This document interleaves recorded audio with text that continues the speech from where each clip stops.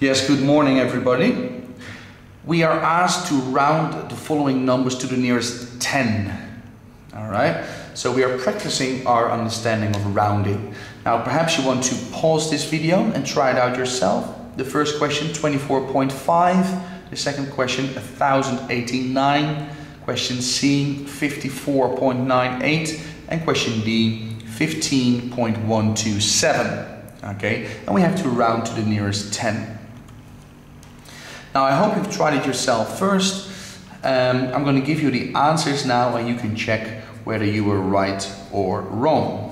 Okay, so the nearest 10, well I got to find out the place value, where are my 10s? Well the first one, 24.5, the 2, that's my 10. Alright, and that 2 either stays a 2, so it turns into 20, or it goes up to a 3, so then it will be 30.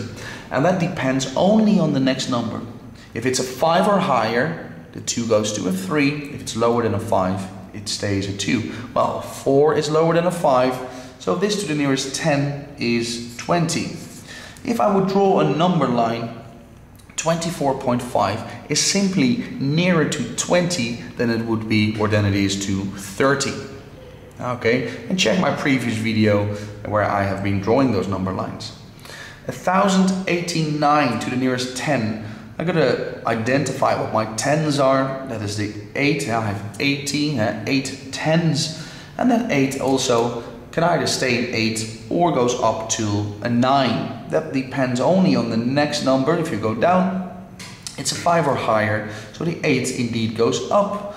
So it will be 1090 to the nearest 10.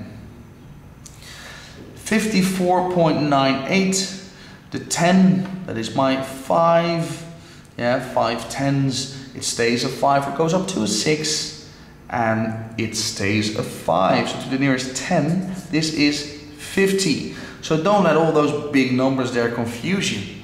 You are only looking at the next number.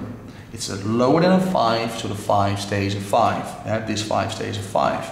Again, if you would draw a number line, 54.98 is simply closer than it is uh, to 50 than it would be to 60. Yeah, it's not a lot of difference, but it's slightly nearer to 50 than it is to 60. All right, let's have a look at the next one, the last one.